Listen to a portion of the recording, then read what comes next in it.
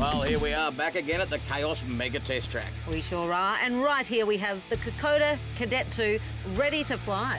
And in front of that, the trail boss. In the mm-hmm. passenger seat, Jamie Hazelton from the Off-Road Adventure Show. Who's in the driver's seat today, Ange? Oh, I'm excited once again. We've got her back. Cool as a cucumber, Sam from Kokoda. Kokoda, a name that normally conjures up thoughts of hardship. But today, the name Kokoda is going to tell a very different story. Sam, give us the lowdown on the Cadet 2. All right, so the Cadet 2 is one of our family off-road models. It's 21 foot 6 and it's got really cool features inside. In particular, two bunks that are 2.1 meters long.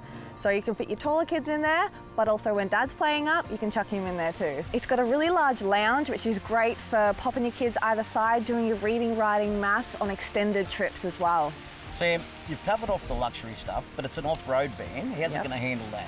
Ah, it's going to handle it great. It's really good off-road, can handle Gibb River Road, Cape York, Fraser Island, and it'll be able to handle everything that Tough Tested has to throw at it. Well, we're about to find that out now, aren't we? So let's get back to the track and see how it goes.